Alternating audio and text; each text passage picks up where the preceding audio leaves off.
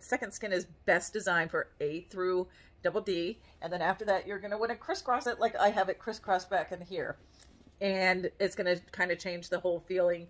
And for me, I am in my snugger size. So I do a 36 where this Athena is actually a 40, but I normally feel most comfortable in a 38 in my essential collection, but I also can do a 36 if I want a snugger in the belly kind of thing. And then I have to work my cups. So not everybody is going to fit these camis the same way. I love the Athena and I've shared this with other people and it's not their spirit cami. My mom and my mother in love, it's not their spirit cami. My sister, she can wear it as well.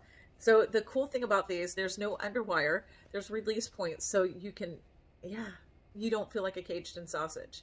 And on this one, it doesn't have those release points, but this material is buttery soft. It does stretch, but it's not stretching like this one that can go three times its uh, size. So it can get over those hips in different places.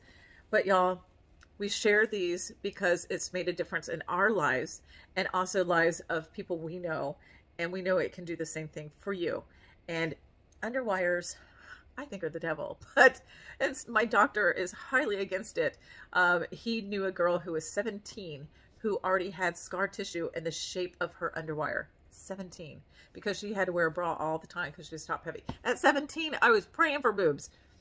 Well, they showed up with late 40s and at 52, they're now an M cup.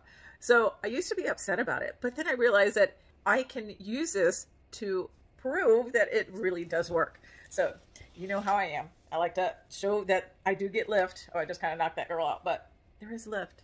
Yeah, they really do work.